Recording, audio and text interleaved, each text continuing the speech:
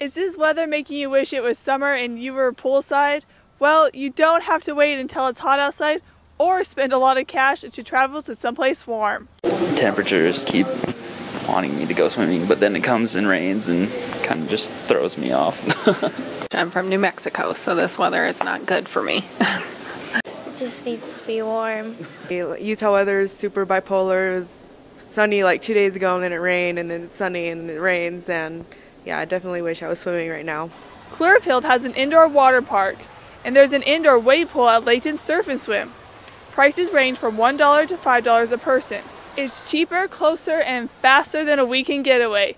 It may release some stress of classes before finals. For this signpost, I'm Aundrea Peterson.